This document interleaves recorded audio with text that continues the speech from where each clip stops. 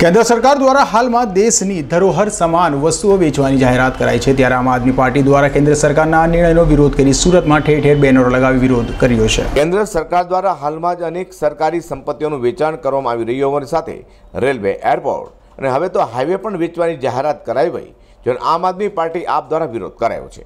આમ આદમી પાર્ટી દ્વારા સુરતમાં પણ કેન્દ્ર સરકારના આવા તકલગી નિર્ણયનો વિરોધ કરવામાં આવ્યો છે. આમ આદમી પાર્ટી યુથ વીક દ્વારા સુરતમાં બેનરો થકી કેન્દ્ર સરકાર દ્વારા સરકારી વસ્તુઓનો થઈ રહેલા ખાનગીકરણનો વિરોધ કર્યો હતો. સુરતના સરથાણ વિસ્તારમાં આમ આદમી પાર્ટી દ્વારા બેનરો લગાડવામાં આવ્યા છે. હાલમાં જ કેન્દ્ર સરકાર દ્વારા અનેક સરકારી સંપત્તિઓ આવક ધરવા માટે વેચવામાં કાઢવામાં આવી છે અને તમામનું ખાનગીકરણ કરવા તરફ કેન્દ્ર સરકાર આગળ વધી રહી હોય જેનો વિરોધ થઈ રહ્યો છે. અઝર કુરેશી સાથે પ્રકાશવાળા.